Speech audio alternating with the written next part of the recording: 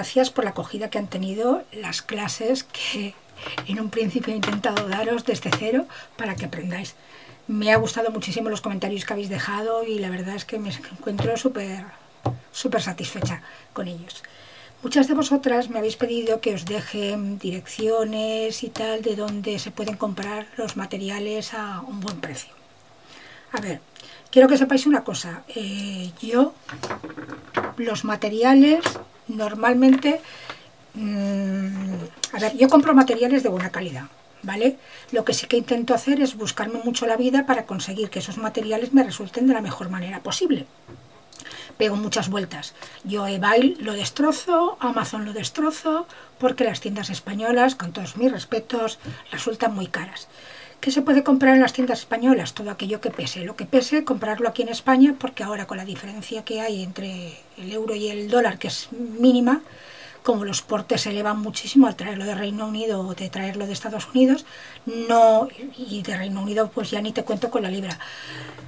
Entonces no compensa esa diferencia. Mm, hace hasta hace poco tiempo relativamente, pues sí, porque realmente la diferencia de precio era importante y aunque los portes eran un poco elevados, pero mmm, merecía la pena. Ahora hay que mirar muy mucho porque puedes encontrar productos que estén muy bien de precio, pero luego a la hora de, de los portes se disparan y como que no. En fin, de todos modos, yo siempre que pueda os dejaré algún link eh, de algún material y os lo comentaré durante el vídeo, de algún material que he visto en buenas condiciones y tal, y os lo dejaré en la cajita de información para que lo sepáis. Siempre con gente que cobra muy barato deportes o incluso mm, no cobra gastos de envío. Eh, pero todo lo que sea material pesado yo lo compraría aquí en España porque os va a merecer la pena. Todo lo que son papeles, que el papel pesa, las colecciones de papel, que además para traer una colección de papel luego desde Estados Unidos cuesta muchísimo y además cuando te metes en Amazon, Amazon de Estados Unidos no nos vende a España, esa es otra. Entonces tenemos que pasar, terminar en Amazon de la Comunidad Europea y buscar muy mucho. De todos modos os dejaré un vendedor bajo que lo descubrí no hace mucho tiempo buscando unos unos polvos de embossing que quería para Mix Media de, de Stampedous, que aquí Stampedous no, no lo encuentro en España.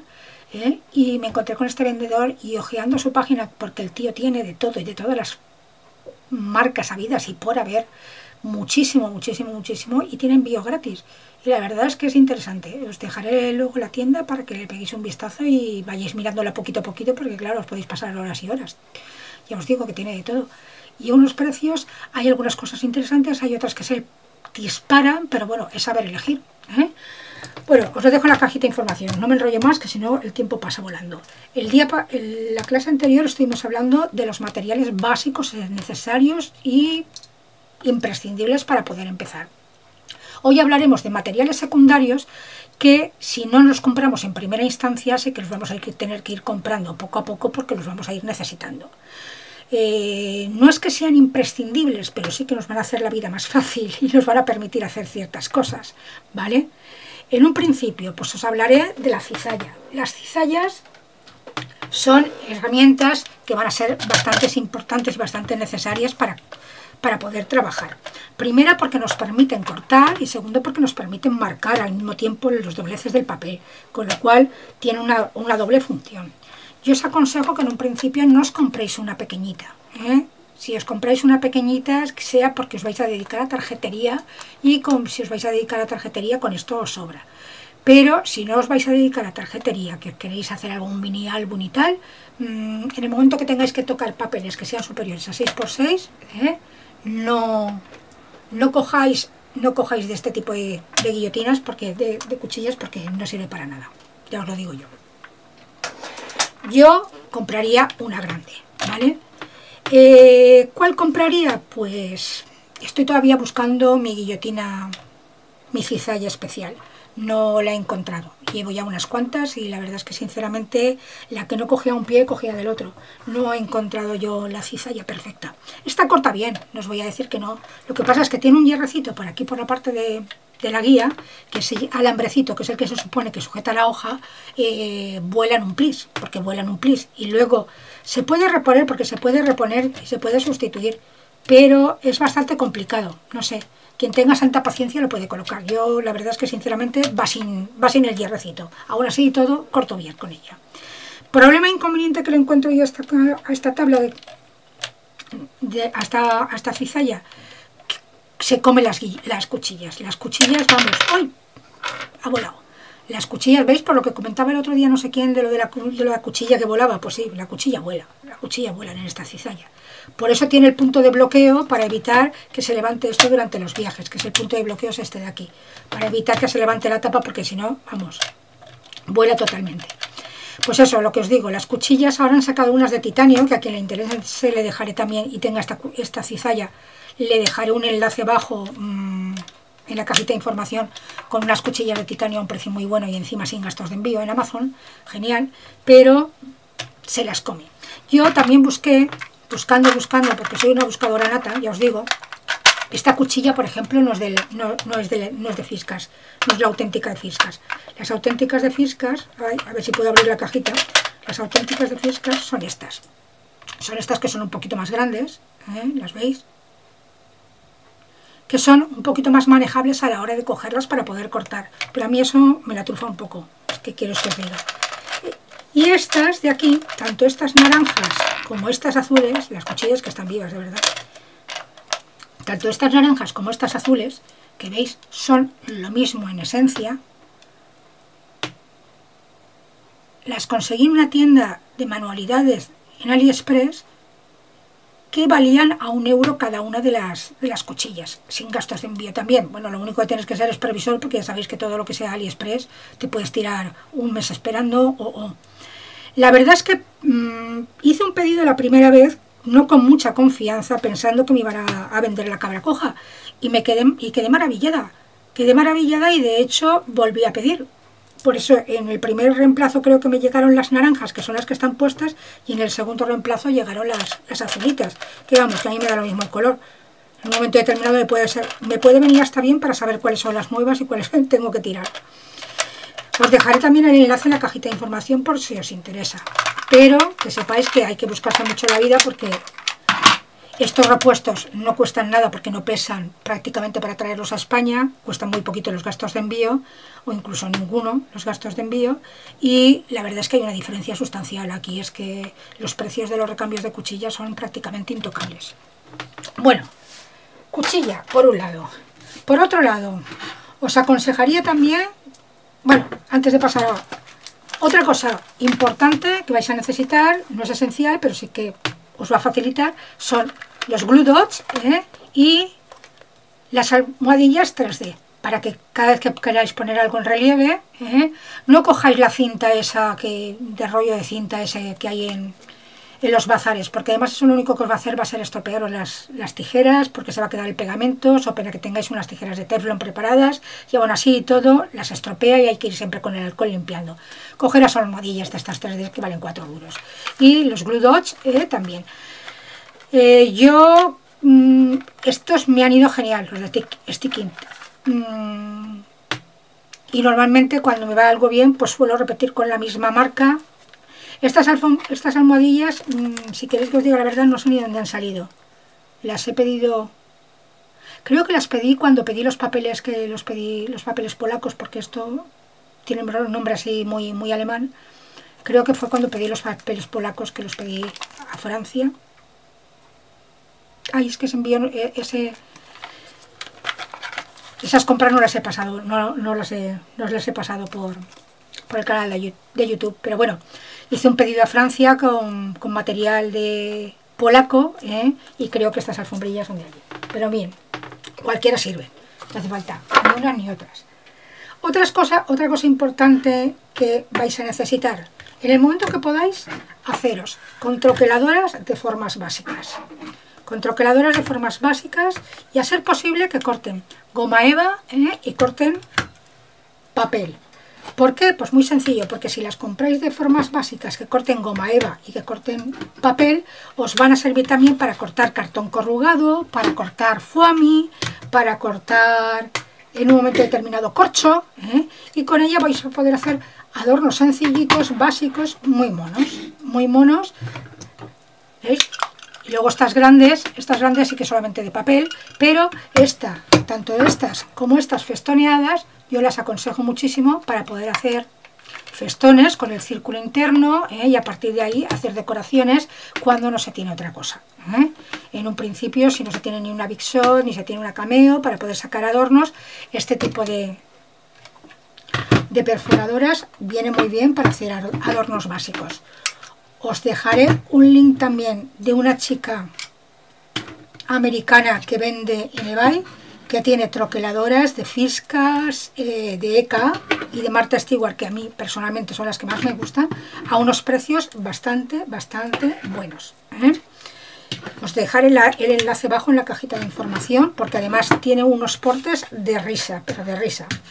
Otra troqueladora que os aconsejo que os hagáis en el momento que podáis, porque da muchísimo juego, que es como la que rifo en el sorteo, pero esta es la mía, está más vieja, ¿eh? tiene muchos años ya, es esta de mariposa. Yo este troquel de mariposa le he dado una batalla, pero increíble, y sigo dándole la batalla, sigue funcionando bien, tiene muchos años ya, y la verdad es que estoy muy contenta con ella.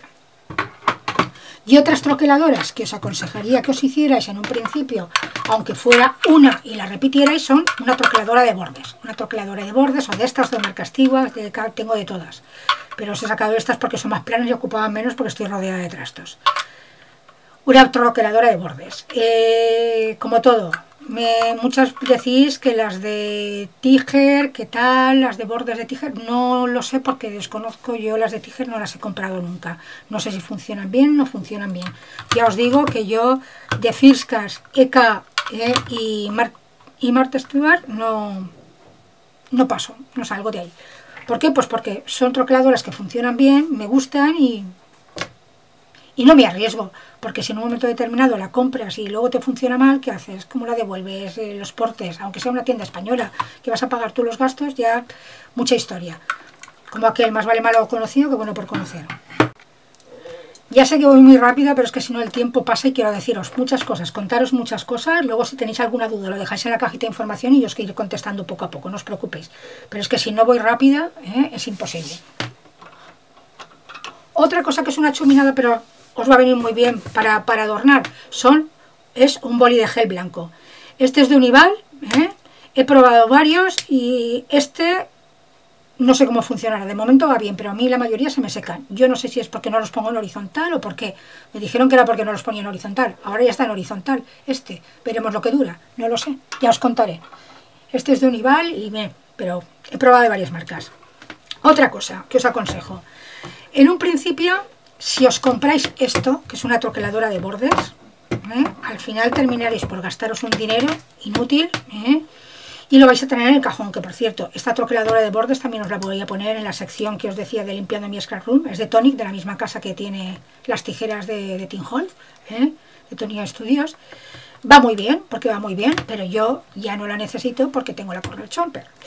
Con lo cual, eh, yo os aconsejo que no compréis esto y que os vayáis directamente, que ahorréis un poquito. ¿eh? Y ahora para Navidades, aprovechando que, está Papá Noel, los Reyes Magos y todas esas cosas, cojáis y exprimáis a la familia ¿eh? y le pidáis cositas como estas. Cositas como estas que os van a ayudar bastante. Ya os digo, yo voy a, yo voy a sortear la, la cortadora de esquinas porque no la utilizo. La troqueadora de esquinas no la utilizo y entonces alguien le hará papel. Alguien la hará papel. Está prácticamente nueva porque a los cuatro días me compré esta. Es que el problema es que estas troqueladoras tienes que ir de hoja en hoja y entonces cuando tienes que hacer un mini álbum es muy cómodo coger esta, ¡pam! y pegarle meneo a varias páginas a la vez y terminar pronto. Pero en fin, igual que esto, os dije lo otro día, lo de la, lo de la agujereadora y la maquinita que pueden vender en el bazar, pero en el momento que tengáis ocasión, haceros con una, con una crocodile porque viene genial. ¿Qué queréis que os diga? Viene genial, la cropada. Yo estoy contentísima con ella. La Corner Chomper hay de muchísimos modelos, de muchísimos modelos de esquinas. Hay cuatro, creo que son cuatro las que hay. Yo solamente tengo esta, ¿eh? que es la del ángulo de un cuarto y la del ángulo de o sea, de un cuarto de pulgada y de media pulgada. Y sinceramente, ¿qué, quieres que os diga? No he, no he tenido la necesidad, porque si no la hubiera comprado, no he tenido la necesidad de comprar ninguna otra, con lo cual no, yo cuando algo no lo necesito, no es una, una prioridad, no la compro. Y otra troqueladora que viene genial, que viene genial, que es un poco cara, pero la verdad es que yo le doy un tute increíble, también esta es de Artemio, ¿eh? es esta, esta para las etiquetas.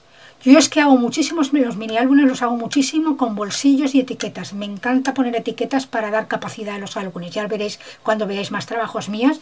Y me encanta. Entonces iba a base, compré un troquel, pero tenía que ir con la Big a troquelar y era un coñazo. La cameo tenía que hacer una página entera y, y, además no podía hacerlo de un color determinado. Y esto me viene genial porque lo puedo hacer perfectamente de los trocitos de papel que me sobran de las colecciones ¿eh? y hacerlo con los papeles de la colección para que haga un juego. Y estoy encantada de la vida con ella. Esto es otra cosa también bastante importante. Otra cosa a tener en cuenta, a ver, a ver, a ver, que me había presentado ya aquí toda la paradeta. Tintas. El tema tintas. El tema tintas para poder tener algún sellito. Tema tintas. Yo soy de la opinión que más vale poco y bueno que mucho y malo. Las tintas, si no son buenas, se terminan por secar. Aún así, las buenas se terminan por secar también.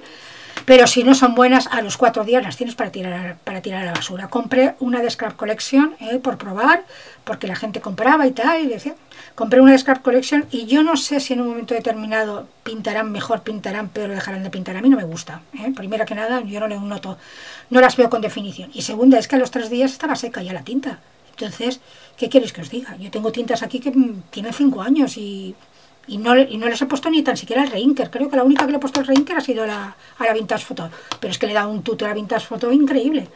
Bueno, empecemos. Si os gusta el Vintage y el Xavi y os gusta envejecer esquinas, las tintas Distress. Empezar por la Vintage Photo o por la Balloon Stein. ¿eh? Que a mí me creo que me gusta más la Balloon Stein que la, que la, que la Vintage Photo. Pero bueno, de todas formas, para gusto los colores. Bueno, cualquiera de estas dos para envejecer esquinas ¿eh? os servirán si os gustan los trabajos así con las esquinas envejecidas. Yo os aconsejo estas tintas. También es verdad que estas tintas eh, sirven como acuarelas, son, son acuarelables y entonces si queréis haceros con varias de ellas para poder jugar y hacer fondos eh, fondos para vuestros mini álbumes, ¿eh? podéis hacerlo perfectamente, incluso en los tags podéis crearlos a base de fondos. Bueno, yo sobre las tintas, sobre cada una de las tintas y todo lo que se puede hacer con las tintas, ya iré hablando detenidamente más adelante, pero como vamos empezando desde cero, ¿eh? vamos a ir pasito a pasito y no vamos a, empezar la caja por el tejado. Luego, os aconsejo también una Memento ¿eh? o una Versafine negra. ¿Para qué? Pues muy sencillo, para poder estampar con definición, porque las tintas Distress no estampan con definición. Son muy bonitas para envejecer, tienen un efecto acuarelable muy bonito, ¿eh? sirven para embosar, porque son de secado lento, sirven también para embosar las tintas Distress, pero, pero no sirven para pintar, para estampar con definición. Entonces aconsejo una Memento o una Versafine, cualquiera de las dos os puede servir. ¿Que no queréis tomar, comprarla en tamaño grande porque es mucho pastón de momento? ¿O porque queréis tener tintas de todas, como yo? Pues las compréis en tamaño pequeñito, así ocupa menos y el efecto el mismo. Yo de todas formas de la Memento tengo la grande y la pequeña. ¿eh? Las Versafine son las únicas que compro en pequeñito. Luego, si os gusta el Xavi y queréis ese aspecto empolvado que tiene, que tiene el Xavi, pues las tintas de prima son maravillosas para entintar los bordes, quedan preciosos, incluso para estampar, pero no le pidas demasiada definición. ¿eh? Son tintas chalk, las chalk, definición, definición, no tienen demasiada. Pero todo lo que es para hacer fondos, para layouts, ¿eh? o para tintar por encima cuando le habéis dado la, pasta de relieve, ¿eh? para tintar por encima, o si embosáis, para, también para crear el color, mmm, quedan muy bien, quedan muy bien, quedan muy bonitas, quedan muy bonitas. Bueno, para embosar no sirven, es para pintar encima del embose, ¿eh? que estas son tintas de secado rápido. Bueno, y para pintar sobre cualquier tipo de superficie, la Station. La Station, mmm, lo que no está recomendada es para pintar sobre, o sea, para, para pintar sobre sellos de, silicona. Tenéis que hacerlo sobre sellos de goma que tienen más cuerpo y más base, porque si no, estas tintas son muy fuertes, ¿eh? tienen base solvente y se comen la silicona. Se comen la silicona y de hecho la pintan toda, la pringan toda y pierden definición luego los sellos, pero en fin, bueno, Si en un principio no tenéis sellos de caucho o no podéis haceros con sellos de caucho, pues bueno, utilizar los de silicona y luego utilizar el limpiador de, de Station, que, que es importante que lo utilicéis, porque si no, os cargaréis los sellos. Pues eso en cuanto a las tintas para poder pintar, tintar pues eso, sobre corcho, sobre acetato, sobre lo que queráis. Y luego dentro de las Station, ¿eh? que ya os, cuando os enseño las tintas que tengo y para qué sirve cada una, ya, ya veréis con todos los colores y todo el que tengo y os, haremos, os haré pruebas. Si queréis y os gusta, ¿eh? para pintar sobre acetato, las opaque ¿eh? me encantan porque tienen unos colores pasteles preciosos. Mirad los efectos que se... Os he puesto aquí dos ejemplos. No sé si los veréis bien. A ver si los acerco un poquito a cámara. O se ve más mirátil. ¿Veis el efecto tan bonito que tienen para pintarlo sobre acetato? ¿eh? Para tintar sobre acetato. Pues la sopa que me encanta porque tienen todos unos colores pastel preciosos, preciosos, preciosos. Y os sirve para haceros un montón de adornos ¿eh? en acetato ahora que están tan de moda para los mini álbums. Bueno, pues eso es lo que había preparado así en un principio como segundos materiales que en un momento determinado. Bueno, también está el tema de la plegadera, que si queréis plegadera para, para, para, para doblar las cartulinas, para hacer los, las, tapas de los mini álbumes, pues también bien, bien. ¿eh? Para esto y para otras muchas cosas. Y en un principio así materiales tal, no... Luego así que hay muchísimo material secundario que, que no es necesario, de los que te puedes ir haciendo poco a poco, pero en un principio no encuentro ninguno más. Así es que esto sería en cuanto a materiales secundarios, bueno, y los sellos, que se me olvida deciros los sellos. Los sellos, en un principio, mmm, yo sé que muchas de vosotras estáis comprando los sellos de Bazar. Yo compré y no tuve una buena experiencia con ellos, ¿qué queréis que os diga? Ya os enseñaré yo mi colección de sellos, que este solamente es una de las cuatro carpetas que tengo. Yo en un principio compraría sellos de este estilo que dan muchísimo juego, sellos de frases y no es por hacerle publicidad a Lora Bailora, que es española, pero a mí todo, si lo puedo tener en español, prefiero español al inglés, ¿eh? porque ya eh, me he comido mucho inglés durante todo el tiempo y ahora que realmente podemos empezar a tener un poquito de scrap español, ¿eh? pues bueno, prefiero poner las frases en, mi idioma que me dice más que, que en inglés, aunque bueno, suelo ir jugando con ellos, ¿eh? Porque tampoco voy a tirar todo lo que tengo anteriormente.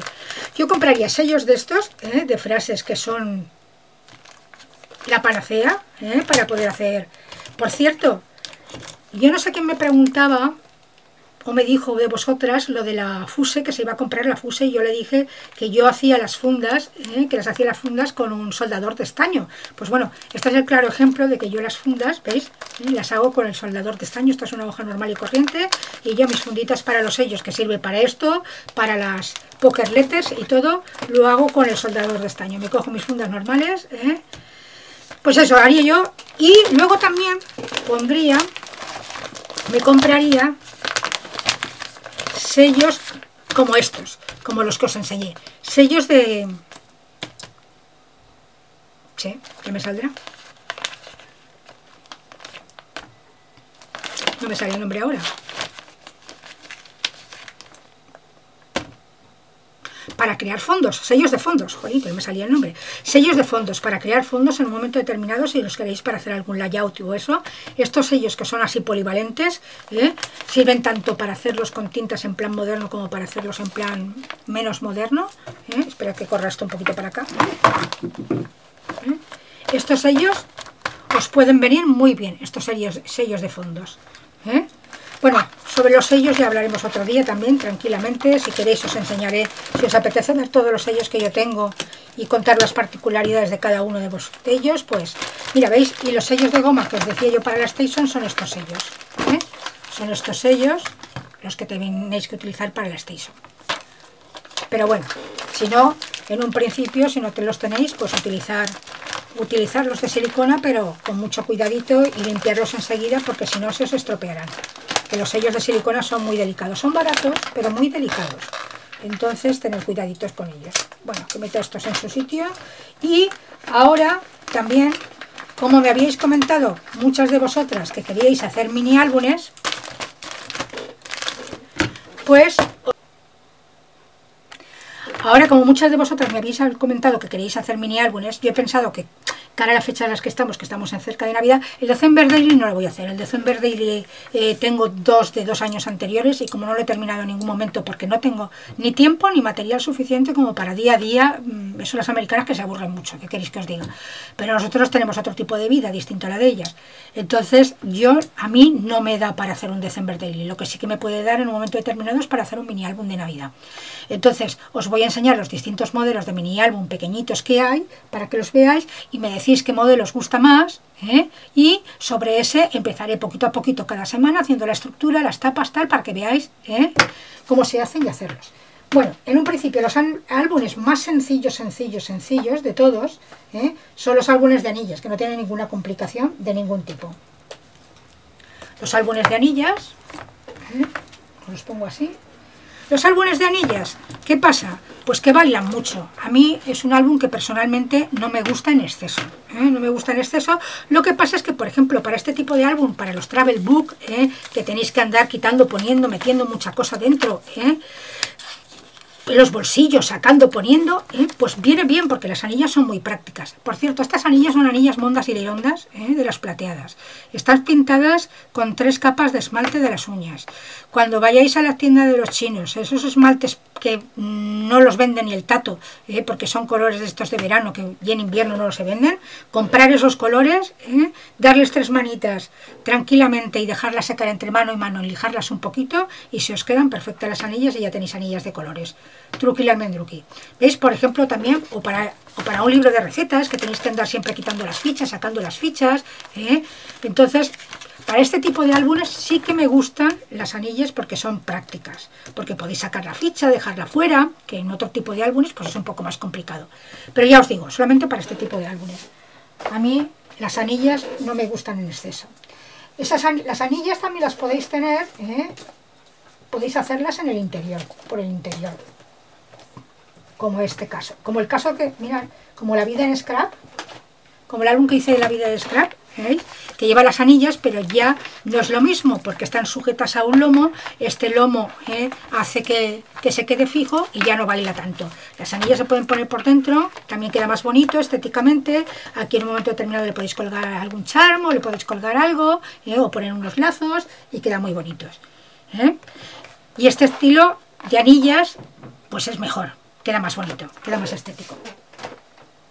Luego también se puede coger ¿eh? y en vez de anillas se pueden comprar encuadernadores o cargaros una carpeta que tengáis vieja ¿eh? y con dos brads, ¿veis?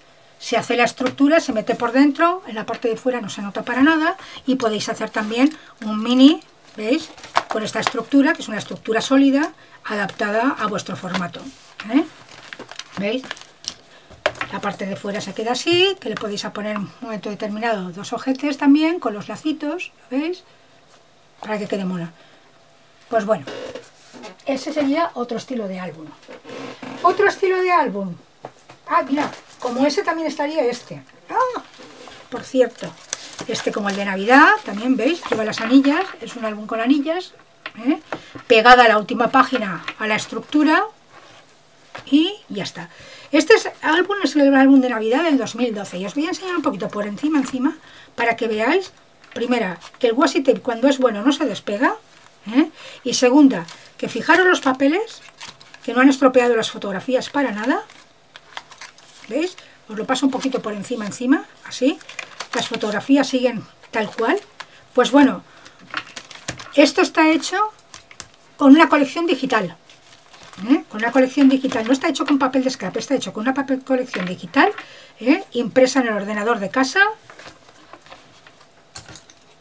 Con lo cual, si a alguien en un momento determinado le resulta complicado tener papeles porque a todo no llega, porque es lógico y normal que a todos no se llegue, son demasiados gastos, el scrap es que es muy caro, es un hobby bastante caro. Y ahora eso es que se está baratando porque se está popularizando y hace que sea más barato, pero en su día era intocable. Bueno, pues si alguien no puede, antes de comprar papeles de mala calidad, es preferible que os cojáis cartulinas de guarro ¿eh? de 180 gramos y que las imprimáis en el ordenador de vuestra casa. Las tintas, ¿eh? las tintas de impresora, son libres de ácido. Por si tenéis algún problema con ello, no se os van a, no van a amarillar. Este álbum es del 2012, ¿eh? es del 2012 y aquí está, perfecto todavía. ya os digo, y no tiene ningún problema. Si no tenéis papeles de Navidad, no podéis comprar papel de, Navidad o no o queréis comprar otras cosas y ahorraros los papeles de Navidad porque son papeles específicos para una fecha, eh, yo decídmelo y en los comentarios, dejádmelo en los comentarios y dejarme un correo electrónico, una dirección de correo electrónico y a través de mi Dropbox os pasaré el enlace para esta colección digital para que la descarguéis en vuestro ordenador y podáis sacar podéis hacer perfectamente un mini álbum sin necesidad de nada más, porque tiene adornos y tiene de todo. Tiene hasta alfabetos, todo. Lo único que yo por aquel entonces tenía la cameo y lo corté con la cameo y vosotros lo tendréis que cortar a mano, pero bueno, tampoco, tampoco es un, problema. Tampoco es un problema. A ver que los vaya dejando por aquí, que se me van a caer todos. Otro tipo de álbumes. Sencillito también. Los álbumes cosidos. Los álbumes cosidos se cosen varias páginas. Este lo hice yo, este lo hice con el Meet en, el quinto aniversario de, Kit de Sauni, ¿eh? que vino Amy. Y veis, son álbumes cosidos. Se cosen, veis el hilo la parte de fuera. Son álbumes que se cosen las páginas y luego se pueden añadir más páginas internas con washi tape ¿eh? o con lo que queráis. ¿Veis cómo el washi cuando es bueno no se despega? Pero el washi de los chinos, yo, ¿qué queréis que os diga? Tengo mis más serias dudas. Este washi nos ha despegado y este tiene ya unos cuantos años. ¿Veis? Van cosidos y luego se le puede añadir más paginitas con washi simplemente, ¿eh? a las páginas que hemos cosido a la parte central. Este álbum, este álbum, estos minis quedan bastante resultones. El único problema que tienen estos minis es que no pueden tener muchas páginas porque si como van cogidos a un solo lomo, ¿eh? si no reventaría el lomo. Es el único inconveniente que tienen, pero por lo demás quedan muy graciosos. Si es para poquita foto, así y tal. Luego están los álbumes pegados página a página. Este lo hice con Celine. No, con Celine, no. Sí, con Celine. En entre Artistas en el 2012. Para más información, entre Artistas Barcelona. Este va pegado página a página. Son páginas de 30 por 30 cortadas por la mitad ¿eh? y van pegadas unas a otras de manera que la parte de arriba, ¿veis?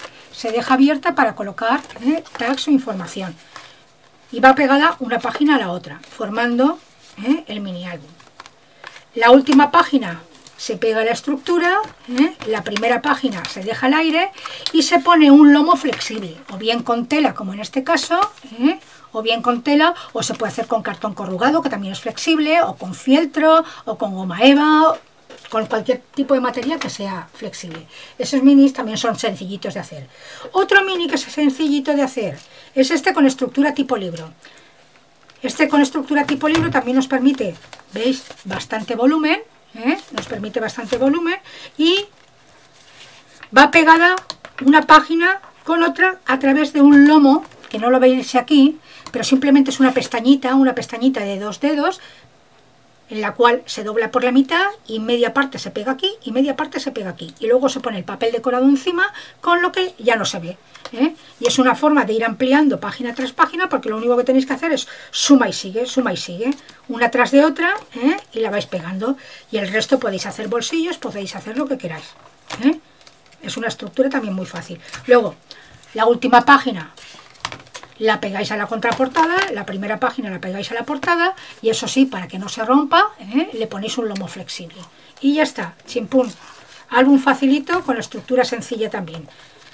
Yo ya os digo, iremos viéndolos todo, pero en un principio para el de Navidad, que es el primero que vamos a tener, ¿eh? decidme qué estructura os gusta y así. Y luego estaría el, el tipo Smash, ¿eh? que es con espiral, bueno, esta espiral se puede dejar por fuera o se puede dejar por dentro. Si se deja por dentro, se cose el lomo. ¿eh? Y este es el tipo Smash. ¿eh?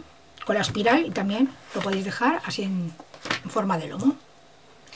Pues bueno, chicas, ya me diréis cuál os gusta más. ¿eh? Y hasta aquí, uy, se ha movido todo, Dios mío. Y hasta aquí mi clase de hoy.